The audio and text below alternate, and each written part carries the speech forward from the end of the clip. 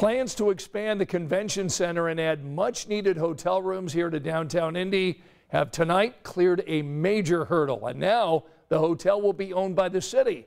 Our Rachel Kraus is in studio looking into how Indy plans to pay for this massive project. Rachel.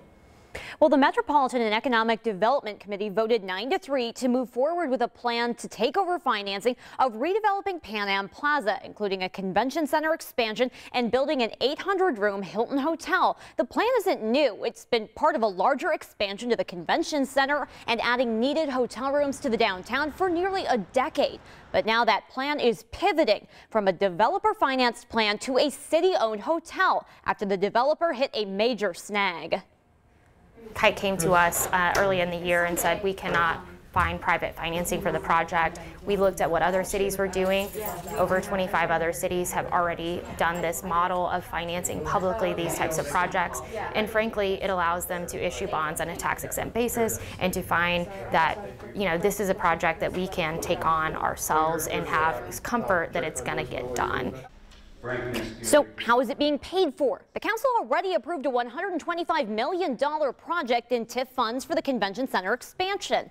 And the city will need to buy the site at Pan Am Plaza for 50 million. The hotel's $510 million price tag plus additional funds needed for debt services reserves will be backed and paid for by the hotel revenues themselves. So taxpayers are not on the hook for this. But Chris Gahl with Visit Indy says the cost of not going ahead with this project could cost Indy far more.